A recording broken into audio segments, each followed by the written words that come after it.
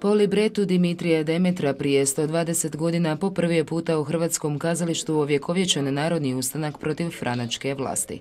Premda praizvedbu Lisinski nije doživio, Porin je u jeku ilirskog preporoda odjeknuo kao snažna budnica nacionalne svijesti. Ne piše Lisinski o, problemu Hrvatske e, u vrijeme Ljudevita Posavskog, nego piše o dubokom problemu 40. E, i 50. godina.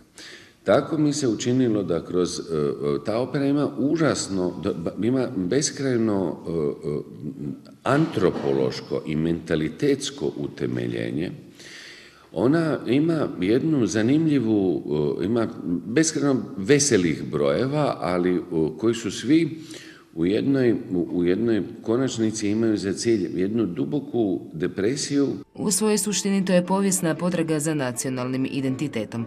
Priča je to o junaštvu kneza Porina i hrvatskih vojnika, stradanjima, borbi za neovisnost, domoljublju i rodoljublju, dodaje redatelj. Premda se likovi kreću u devetostoljetnoj Hrvatskoj, dijelo i danas intrigira svojom svježinom.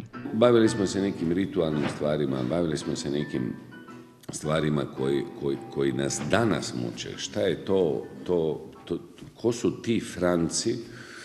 To su Franci s velikim F, a mi danas imamo problem Franke s malim F, imamo kredite u Francima i problem udruge Franak je puno jači nego, to ovako volim ja veselo reći. Jel?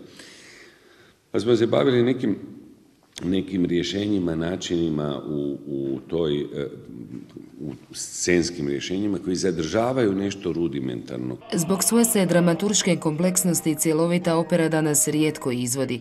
Posljednji je to put bilo prije 20 godina u Zagrebačkom HNK-u. Stoga će se u Osječkom kazalištu igrati u skraćenom obliku.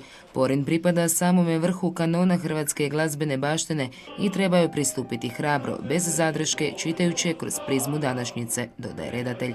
Kneza Porina igraju Domagoj Dorotić i Ladislav Vrgoć, a okrutnog franačkog vođu Kocelina Dalibor Hanzalek i Slobodan Cetičanin.